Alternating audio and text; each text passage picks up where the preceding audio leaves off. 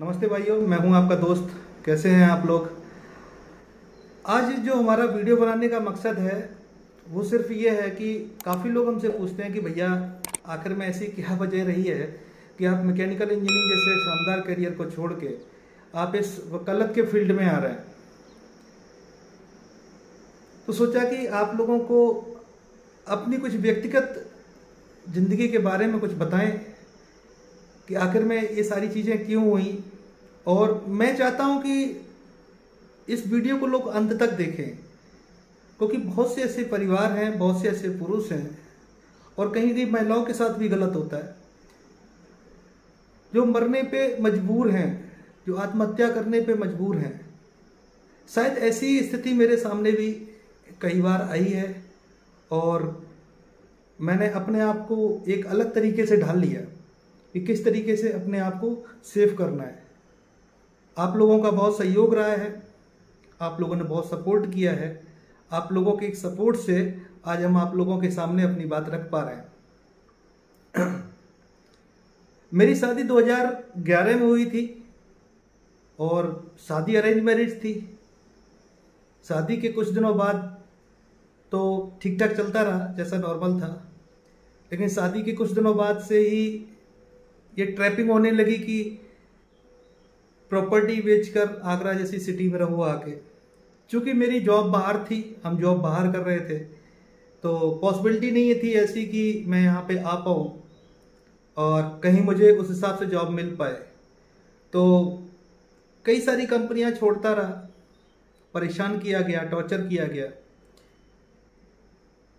Police से phone कराया जाता था, धमकी दिलवाई जाती थी। एक बार का वाक्य मुझे याद है कि मेरा बड़ा बेटा पैदा हुआ था। उसी दिन मेरे हाथ पैर में पैरालिसिस सिम्टम्स हो गए थे। इस साइड में तो मैं चलने फिरने लायक मेरी स्थिति थोड़ी सी डगमगा गई थी। हॉस्पिटल भर्ती था, डिप लगी हुई थी, इलाज चल रहा था मेरा। और हमारे ससुराल पक्ष का जो पुलिस थाना है, वो मुझे फ़ोन कर रहा था, धमकी दे रहा था। कि तू झूठ बोल रहा है, तेरा ये कर देंगे, तेरा वो कर देंगे, जैसा कि अमूनन आप देखते हैं डेली प्रैक्टिस में ये चीज़ें, क्योंकि आप थाने में जाएँगे तो थानेदार जो होता है ना, वो अपने आप को डीजीपी समझता है। लेकिन जब कोर्ट के कटघरे में आता है तो उसको समझ में आ जाता है कि कानून नाम की कोई चीज़ भी और वकील भी कुछ अहमियत रखते हैं। और मैंने आनंद फानंद कुछ नहीं देखा। मैं जैसी स्थिति में था, मैं वैसी स्थिति में थाने में आ जाता हूँ और दिखाता हूँ, देखो ये स्थिति है मेरी। तब वो लोग मानते हैं कि हाँ वास्तव में ये जो बात कही जा रही थी वो सही है। समय बीता, मेरे ऊपर मुकदमे फ़ाइल किए गए, गलत तरीके से मुकदमे फ़ाइल किए गए। उसमें फिर हमारा समझौता हुआ। समझौता हो के हम लोग अच्छी तरीके से घर पे रहने लगे। फिर मैंने कोई अपनी नई जॉब ढूंढी। जॉब करने लगा। वहाँ भी मुझे पुलिस से परेशान कराया गया। मैं, मुझे याद है कि मैं उस टाइम पे शायद सुरेंद्र नगर लिमड़ी में था। तो मुझे काफ़ी परेशान कराया गया। और आप लोग जानते हैं कि प्राइवेट कंपनियाँ कितनी देर छुट्टी देती हैं और इन सब चीज़ों से बहुत दूर भागती हैं। स्थिति नाजुक होने लगी। मेरे पिताजी भी मेरे टेंशन में आने लगे कि आखिर में इतनी अच्छी जॉब है, जॉब नहीं कर पा रहा है बंदा। और गलत घर से शादी हो गई, इसका मलाल उन्हें हमेशा बना रहा। इसी दौरान क्या होता है कि हमारा छोटा बेटा पैदा होता है। हम उस टाइम पे लिमड़ी सुरेंद्र नगर में ही थे। पुलिस से फ़ोन करा के, किसी तरीके से टॉर्चर करके, आखिरी में वो भी मेरी जॉब छूट जाती है।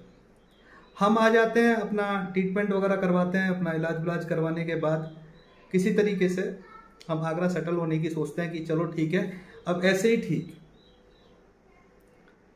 जैसे ही मैं अपने आगरा प्रोजेक्ट पे आता हूँ तो मेरे को छः सात दिन होते हैं तो मेरा एक्सीडेंट करा दिया जाता है, रौनकता में। जिसमें कि मेरी जान भी जाते जाते बची है और मैं शायद पूरा खून, लथपथ भी था खून से। उसके बाद मुझे कहीं जॉब नहीं मिली तो मैंने फिर अपना सीसीटीवी फायर फाइटिंग का काम स्टार्ट किया। ये छोटे लेवल से स्टार्ट करते हैं। उसमें भी जैसे ही मैंने काम स्टार्ट किया तो मेरे फादर जो थे वो एक्सपायर हो गए, उनका ऑपरेशन कराया था। तो जैसे इन्होंने देखा कि मेरे फादर जब एक्सपायर हो गए तो मैं चारों तरफ़ से घिर गया, बहुत सारी जिम्मेदारियाँ आ गई।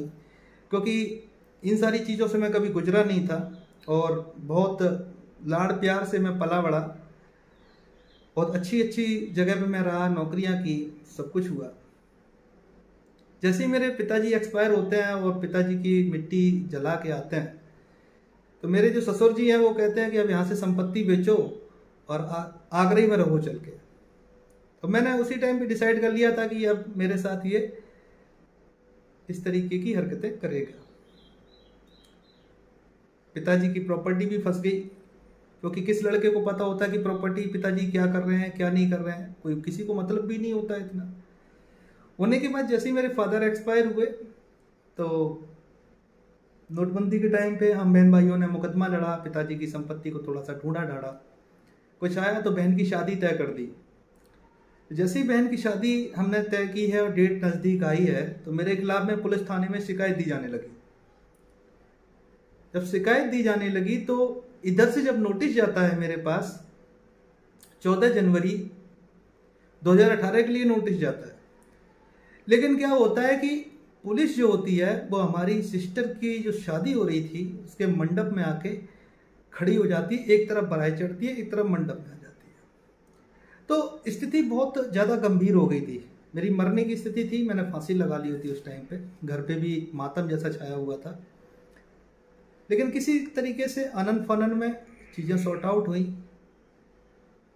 हमने लड़की की विदा करी। विदा करने के बाद मैं थाने में गया। मैंने कहा कि ऐसा मैंने कौन सा जगह अपराध कर दिया था, जिस तरीके से मतलब मेरे घर पे दबिश दी जा रही है, जैसे मैं कोई आतंकवादी हूँ। खैर वो पीक समय था क्योंकि मुझे सिस्टर की शादी भी करनी थी और इन सारी चीज़ों से निकलना भी था।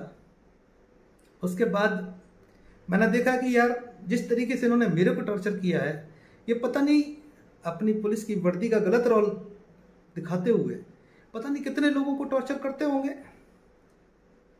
फिर मेरे दोस्त हैं जो जो ऐसे केसेस से पीड़ित थे, उन लोगों ने सजेस्ट किया मेरे हाई कोर्ट के जो वकील साहब हैं, श्री विनय कुमार पांडे जी।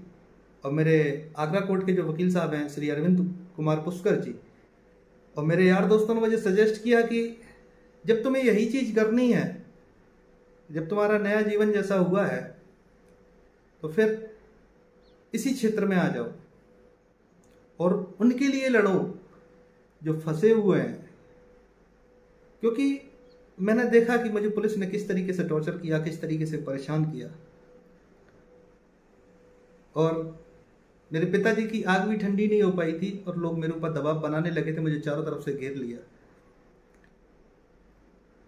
केसेस हुए, मुहिम चलती गई मेरी, आप लोगों का सहयोग मिलता गया। थोड़ा डगमगाया, आप लोगों ने मेरा सपोर्ट किया, आर्थिक सपोर्ट भी किया, ऐसी बात नहीं। मेरे, एक तरफ़ मेरे बच्चों की ज़िम्मेदारी मेरे ऊपर कोर्ट ने सौंपी हुई थी, एक तरफ़ घर की ज़िम्मेदारी थी, एक तरफ़ अपने करियर के बारे में ज़िम्मेदारी थी, एक तरफ़ एक कोर्ट कचहरी केस इनकी ज़िम्मेदारी थी। मुझे नहीं लग रहा था कि मैं सफ़र कर पाऊँगा। लेकिन आप लोगों ने मेरा वास्तव में सहयोग दिया। आप लोगों ने मुझे हमेशा खड़ा रखा। और उसी टाइम मैंने ये सोच लिया था कि नहीं, मैं जब भी केस लड़ूँगा तो न्याय हित के लिए लड़ूँगा, लोगों को न्याय दिलाने के लिए लड़ूँगा। और कोशिश करूँगा कि किसी के साथ गलत ना हो। पैसा तो मैंने जॉब में भी कमाया था, वो अपना नहीं हुआ। मेरा एक शौक जैसा बन गया है पढ़ना। और मैं चाहता हूँ कि आप लोग मेरा सपोर्ट करें, क्योंकि मैं आगरा में रह रहा हूँ अभी समय। और मेरे पास हर तरीके के लोग आते हैं, मेरे घर पे आते हैं, रुकते हैं। जैसा मैं खाता हूँ, वैसा उनको खिलाता हूँ। जैसे मैं सोता हूँ, वैसे उनको सुलाता हूँ। जैसी मेरी औकात है, जैसी मेरी व्यवस्था, उस हिसाब से मैं करता हूँ। लेकिन मैं कभी किसी को ये महसूस नहीं होने देता कि मैं किसी दूसरे के घर में आ जाऊँ मेरा इंटेंशन सिर्फ़ यह है कि कोई माँ बाप कोई बुज़ुर्ग रोए ना, परेशान ना हो। किसी को आत्महत्या करने तक की नौबत ना आए। बाकी का प्रोफेशनल नॉन प्रोफेशनल लेन देन ये सारी चीज़ें अपनी जगह ठीक हैं। आप लोगों ने मेरा काफ़ी सपोर्ट किया है। तो इस तरीके से मेरी लाइफ में एक नया टर्न आया।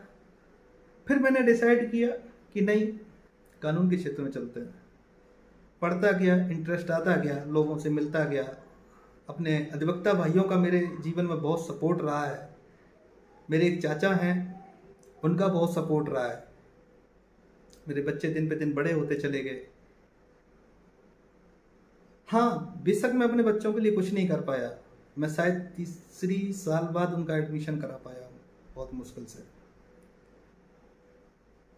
लेकिन मैंने बहुत लोगों को बचाया है, बहुत लोगों के लिए मैंने मेहनत की है, और मेरे लिए किसी की एक की ज़िंदगी अगर बच जाए, मेरे लिए बहुत बड़ी बात है। मैं ये समझता हूँ कि मेरा जो इंजीनियरिंग करियर जो है, वो मेरा सफल हो गया। तो मुझे कोई फ़र्क नहीं पड़ता। है मेरे बारे में कौन क्या कुछ बोलता है? क्योंकि मैंने जो महसूस किया है अपने लाइफ में, मैंने जो चीज़ें झेली हैं, वो सिर्फ़ मैं ही जानता हूँ। और जो लोग फेसबुक पे एक दूसरे को जो सलाह मशवरा करते हैं, अच्छी बात है, करो। लेकिन उससे बंदा इतना कंफ्यूज हो जाता है कि वो सोच नहीं पाता कि आखिर में करना क्या है। और जब तक वो सोचता है, तब तक वो डैमेज हो जाता है। तो मैंने बहुत मज़बूत अपने आप को किया। बहुत सारी जिम्मेदारियाँ आई। आप लोगों को भी देखना है। आप लोगों के काम करता रहता हूँ। आज रात के छह बजे तक मैं सोया नहीं। लोगों के लिए देख रहा था। मैं रात के ढाई तीन बजे तक इसलिए नहीं सोता हूँ, पता नहीं ऐसा इमरजेंसी वाला कहीं कॉल ना आ जाए। क्योंकि कई बार ऐसे कॉल आए कि हम भैया सुसाइड करने जा रहे हैं, हमें बचाओ, हमें ये करो, हमें क्या करना चाहिए। मैंने उनसे घंटों घंटों पर बात की। इसलिए एक हैबिट जैसी पड़ गई है कि अब नींद नहीं आती।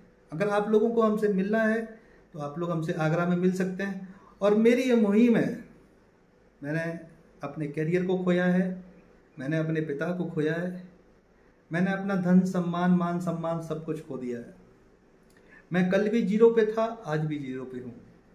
बस जो आप लोगों का थोड़ा बहुत सपोर्ट मिल जाता है, बस उससे ही आगे कारवा बढ़ता चला जा रहा है, और वो भी मेरी जिम्मेदारियों को पूरा नहीं कर पा रहा है। मैंने तीन साल बाद अपने बच्चों का एडमिशन करवा पाया खलती थी ये बात। तो इसलिए मेरे बारे में कोई गलत अफवाह भी ना फैलाएँ, क्योंकि मैं उस तरीके से नहीं कर रहा हूँ। आपने मेरा कोई भी वीडियो उठा के देखना, आपको समझ में आ जाएगा। मैं जो फ़ाइल पे चलता हूँ, उनकी प्रैक्टिकल चीज़ें आप लोगों तक पहुँचाने की कोशिश करता हूँ कि अगर मैं ना भी रहूँ तो आपको कम से कम ये चीज़ें पता चल जाए।